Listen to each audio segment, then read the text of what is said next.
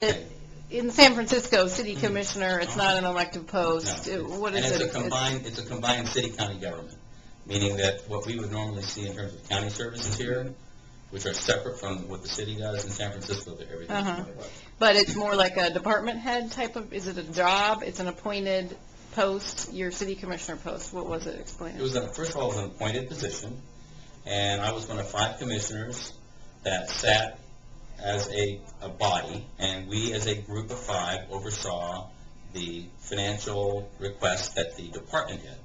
Uh, The department, the, uh, the head of the Department of Human Services, he and his assistant department heads would come before us every other week, I think, and provide us information on contracts and what the contracts were going to cost, and ask us to approve them.